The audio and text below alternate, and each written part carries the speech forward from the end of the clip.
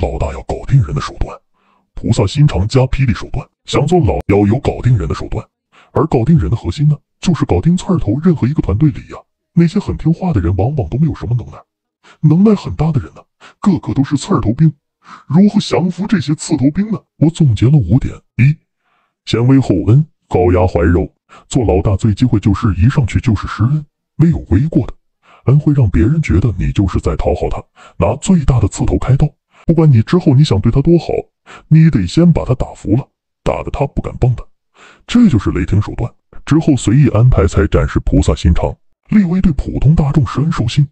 孙子兵法里说：“杀一人可镇万军，杀之讲一人可悦万军。”强制就是这个意思，把最难搞的这个刺儿头都制服了，那下面人自然对你服服帖帖的。当个个都怕你时，你施恩就能起到收买人心的作用。前面太好，后面坏一点点，他们都会。